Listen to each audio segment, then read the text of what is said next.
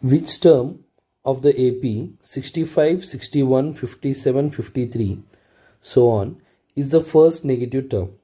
So here, so first negative term to find the first negative term.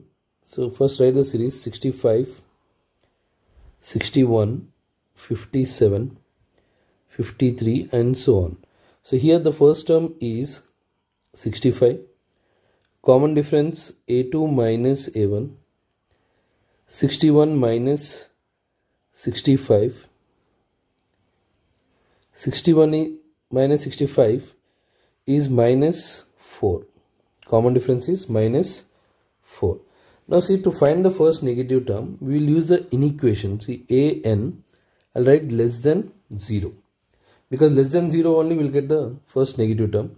So here a n formula is a plus n minus 1 times d less than 0 and if I'll substitute the values the value of a is here 65 n minus 1 times d. D is minus 4 less than 0 65 minus 4n minus into minus plus 4 less than 0 so 69 minus 4n less than 0 so as it is an equation my advice is make the variable positive 69 less than 4n. So 69 by 4 is less than n.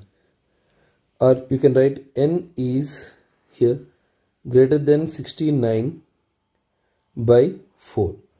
See, for example, if 5 is less than n or n is greater than 5 or you can write 7 is less than 10 or 10 is greater than 7 in that way you can write that so here just I'll take out this.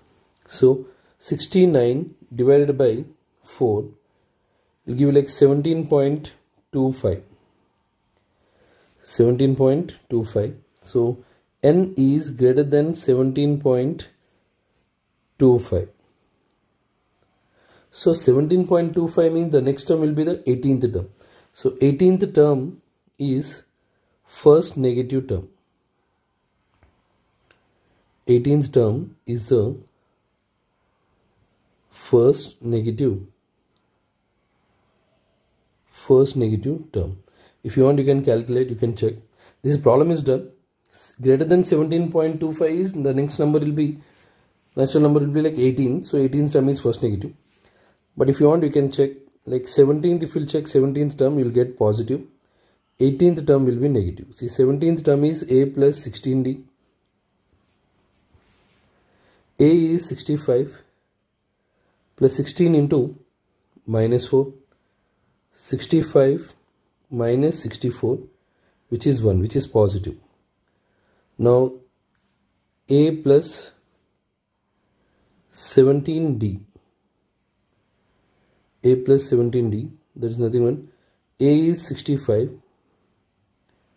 plus 17 into minus 4 65 minus 68 which is nothing but minus 3. See 18th term is first negative term.